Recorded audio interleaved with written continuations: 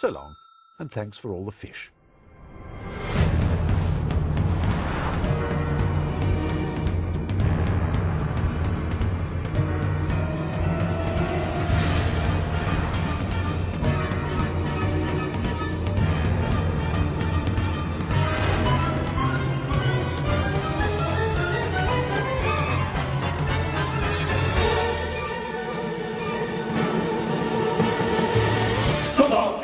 For all the fish. So sad that it should come to this. We try to warn you all, but oh dear.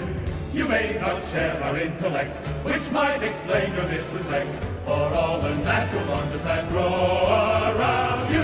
So long, so long, and thanks for all the fish.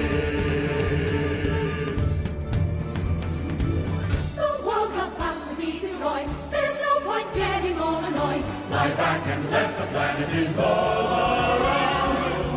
despite those nets of tuna fleets. We thought that most of you were sweet, especially tiny tots and your pregnant women. So long, so long, so long, so long, so long.